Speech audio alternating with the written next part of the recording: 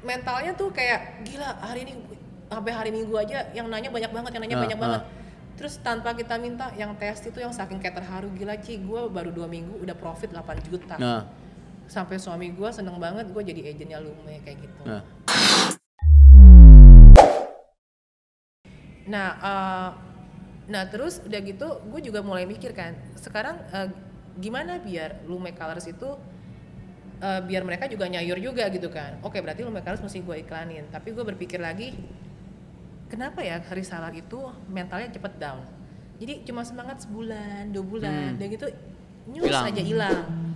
Ya padahal mereka join one on one kan buat setahun kan, Eh, mau diajarin, di mentoring. Waktu di awal kan kita kan ada daily mentoring Nah, daily mentoring tiap hari ada PR awal rame lama-lama setelah dua bulan udah mulai males males Hmm. Karena kurang konsisten menurut gua kan Hmm. kan susah mencari orang konsisten makanya balik-balik menurut gua juga balik ke prinsip Pareto di mana ya kalau misalnya semua orang memiliki konsistensi dan kegigihan yang sama 100% jadi pengusaha ya. atau UKM yang sekarang 99,9% itu dikuasai UKM harusnya makin berkurang dong jadi cuma 70% sisanya udah naik level semua dong. Iya. Tapi buktinya dari tahun ke tahun selalu tetap Betul, betul, betul. 99,9%. Ya udah. Nah, terus akhirnya gue pikir gini. Gue nanya, kenapa sih kalau jadi malas? Kasari tapi ngomongin Iya. lebih bagus lah. Pokoknya intinya kenapa kalau jadi malas gitu kan? Hmm. Ya habisnya saya udah posting-posting, nggak ada yang beli, nggak ada yang ini. Hmm. Ya dalam hati gue, maksud gue, ya apakah kalau semua orang dengan posting-posting langsung ada yang beli? Ini gitu kan. Cuma akhirnya gue berpikir yang mesti dinaiki itu adalah mental mereka dulu. Oke. Betul. Kita cekokin mindset nih, oke berapi-api, tapi besok nggak ada yang closing, lama-lama turun lagi. Iya. Dari situlah akhirnya eh, ketika gue juga ngobrol sama partner gue, gue bilang, ini kita mendingan gini tin dia bilang, mendingan kita mengelola kayak 200 mentok 250 stokis Hmm. agent ketimbang ribuan reseller. Kita mendingan nge-grow yang ini. Iya.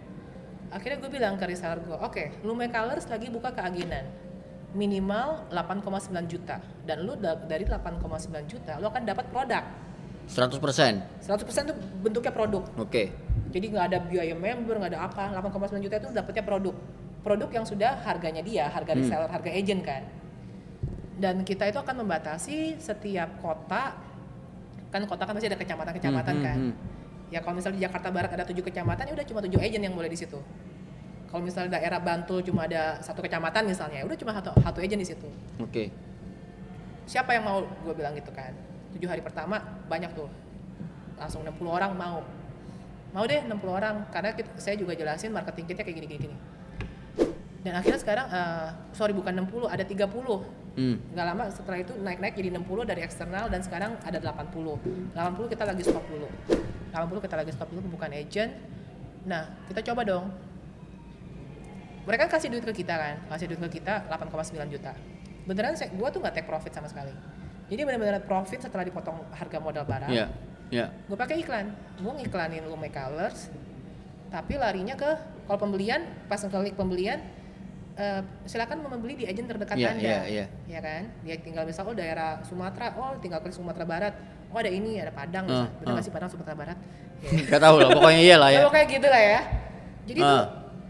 akhirnya mulai berasa nih kan tiga minggu terakhir kan udah mulai viral kan agent yang tadinya males-malesan kayak ya gue nggak bisa nih udah di- cuma modal duit doang kan Hmm, kita juga hmm. serem dong lo cuma modal duit doang lo nggak nggak nggak ngerti jualannya Hmm. tahu-tahu nanti banting harga akhirnya mulai mentalnya tuh kayak gila hari ini sampai hari minggu aja yang nanya banyak banget yang nanya Ah, banyak ah. banget terus tanpa kita minta yang tes itu yang saking kayak terharu gila Ci gue baru dua minggu udah profit 8 juta Nah.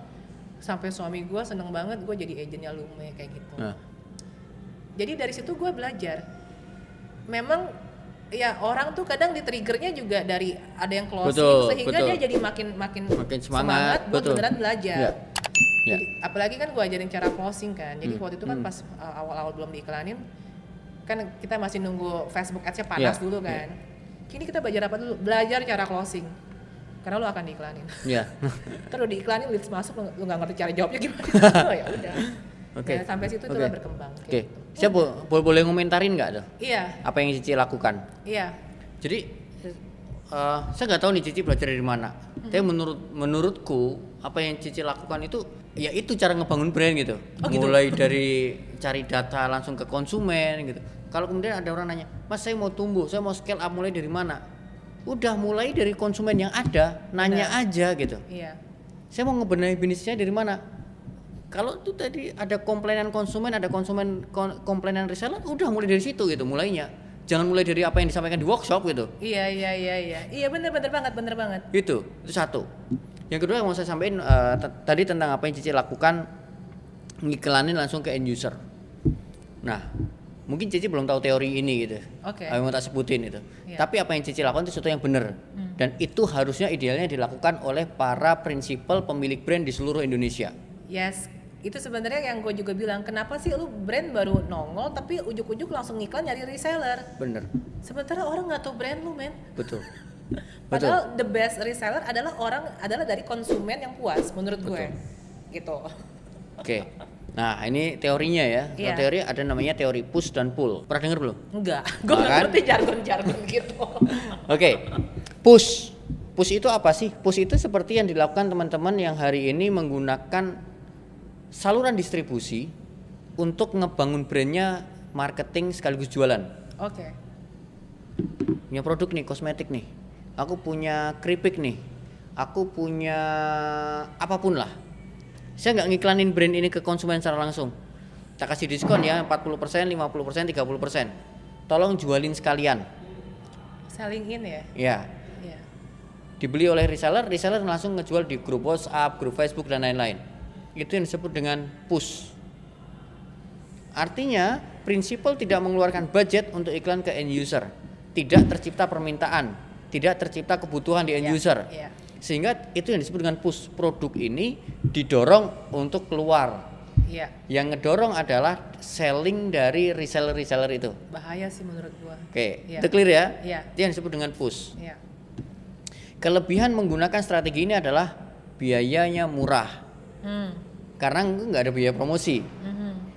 hanya ngasih diskon aja untuk reseller. Iya. Kelemahan dari sistem ini adalah ketika distributor memegang jaringan distribusi, selesai hidupnya prinsipal.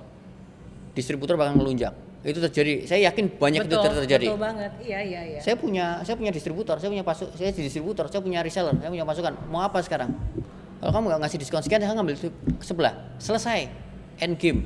Dia disebut dengan push. Kebanyakan cara ini digunakan ya teman-teman UKM. Kenapa? Karena ini dianggap paling murah. Oke lah, kalau emang misalnya di awal nggak punya modal, pakai ini nggak apa-apa. Tapi jangan ini terus yang dipakai Iya gitu. benar benar. Lo kalian harus mulai shifting nih ke pool. Pool kayak apa? Kayak Cici tadi. Betul.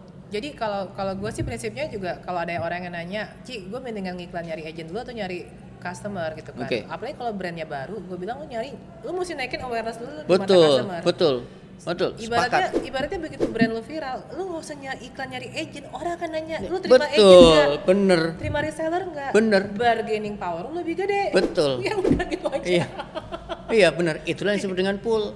Iya iya iya iya. Pool tuh kayak gimana? Kita ngiklan nih, prinsipal ngiklan ke end user. Terjadilah permintaan, aku kok pengen ya Lume Colors ya. Hmm. Saya mau beli di mana? Oh ini saya punya sekian 10, saya punya Ya. 80 agent gitu kan. Bener. Nah, si agent cuma selling, dia nggak marketing. Yang melakukan marketing membuat permintaan adalah si prinsipal. Dan lucunya ketika ada customer begitu ngeliat anjir gila agentnya diiklanin. Oh. Akhirnya dia malah nanya jadi agent. Gue juga mau dong cara jadi agentnya gimana. Jadi akhirnya dia chat salah satu agent malah Hmm. nanya cara jadi agent. Padahal di situ ada menunya sih Iya, menu buat iya, kalau mau daftar jadi agent. Ya itu interestingnya gitu sih. Iya, iya. Iya iya. Oke, keren, keren, keren, keren, keren, keren, keren. Wah ini perjalanan luar biasa dari seorang Kristinali. Apa sih? Semuanya nggak tahu nih. Saya yakin nggak ada workshop yang selengkap itu. Sebetulnya itu workshop workshop saya ngebahas tentang apa yang sudah gitu ya? dilakukan Kristi, yang dilakukan Cici itu sebenarnya saya bahas di workshop. Oh oke oke. Mulai dari strategi distribution channel, menggunakan gimana kalau supaya uh, kita udah punya distributor dan nggak dibajak. Cara-cara satunya kita harus menggunakan pool. Apa yang Cici lakukan? Kayaknya lebih tepat Cici aja yang ngisi workshop deh nanti ya.